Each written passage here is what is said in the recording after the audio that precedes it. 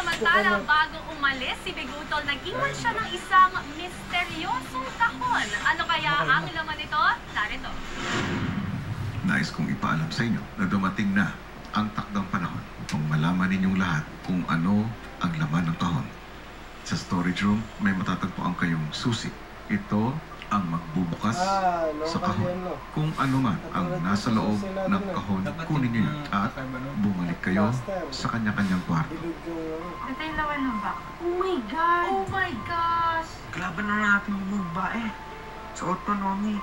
O kaya sila ano, sila mamimili kung sino autonomy sa atin. Ah!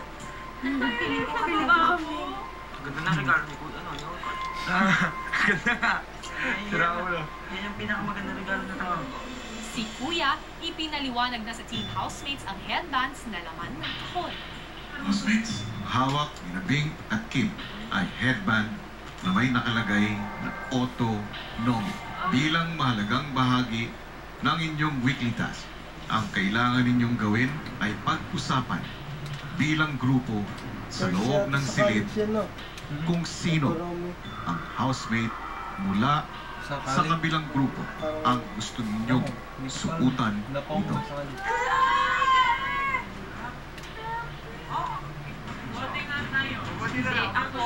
Housemates, ito ay isang decree. Yeah. At tulad na kahit ang no? decree, mayroon kayong pagkakataon na sundin ito o hindi. Ngunit kung gusto ninyong manalo sa inyong weekly task, kailangan kahit isa lang ay may mapatawan ng automatic nomination.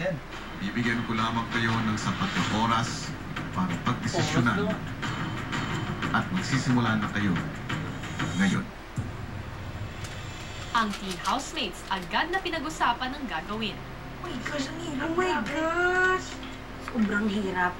Huwag natin sundan yung ano. Oo, patalo na lang tayo. Gulay na, hirap. Kasi, honestly, yung, ang pangit naman kasi kapag, alis kasi wala lang rason dahil lang ganyan. Tingin nyo, ano iniisip? Tingin nyo, anong iniisip nila? Mag-autonomy or hindi? Mag-autonomy Sa tingin ko rin. Kasi mas, Tsaka madami tayong kasi mas marami pa tayo. Okay lang sa akin, mag-gulay. Inisip talaga Ako din, nila. gulay. Gulay. Diet ako, bahala kayo dyan. Bahala, hindi ako, sorry.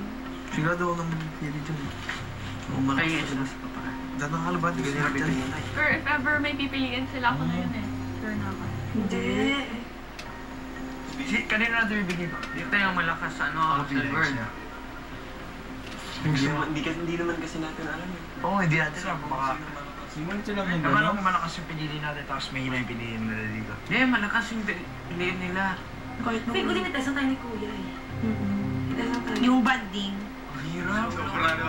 Oo, wala na. Wala na. Wala na. Nasanay naman tayo natalo. So, okay lang yan. Talo kung talo. Try natin yung kambal. Martel. Try natin yung kambal. Huwag sira. Trip na natin. Ayoko. Trip na natin. Huwag. Trip lang. Ito, trip lang ngayon, oh. Bakit? Bilitan tayo. Malay nyo, malay nyo. Seryoso, seryoso ang bago. Ito na, parang, di na kailangan sa liha. Ate Martel, wag. Hindi naman eh. Feeling ko wala silang pipiliin. Gagawa niya na. Martel ako. Martel ako. Sige, Tal tal ano? sigurado Ikaw ko. yun eh. lagay. Wala Final decision na, ano na.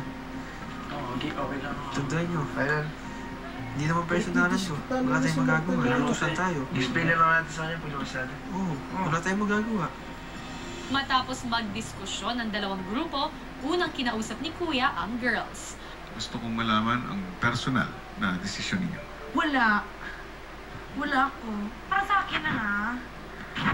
Ay, Eh, ang pangit. Kahit pa hindi kayo nagpapansin, Ah, makikita kami, hindi ka. kayo... Ayoko mo Ayaw mo, nakakakikita din. Mahal ko sila. So, inisip, Ganun din po, nila kuya. Ayaw rin, ayaw ko rin no? po na mag-autonomy po ng isang kasamahan namin. Karen, Ako po, kuya, wala din po. Jay, Ay, of course not po. Ay, of course hindi ako papayag. I mean, of course wala ako pipiliin sa kanila. Honestly po, ang pangit po ano, kasi kahit ritual na po namin ginagawa yung at ano, ay mga nomination, di ba? Pero, ritual.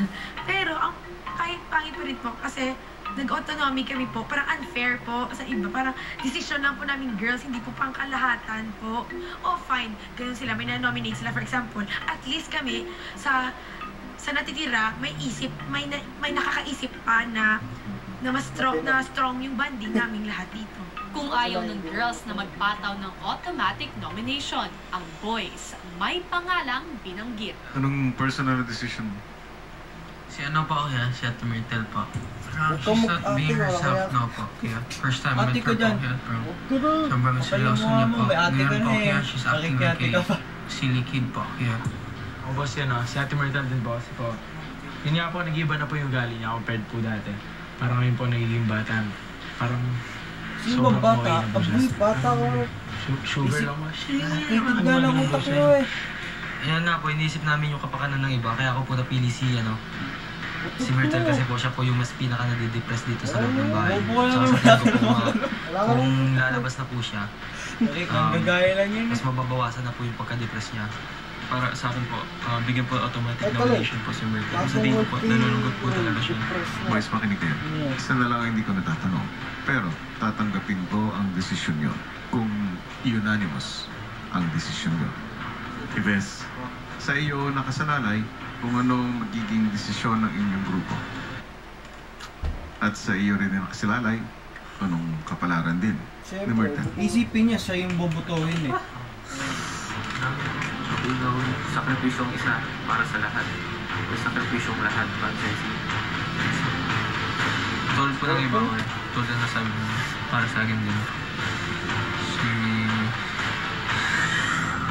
mo sabihin, si Myrtle din po.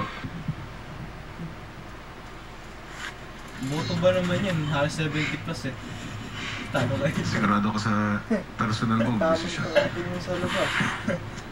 Walang boboto dyan.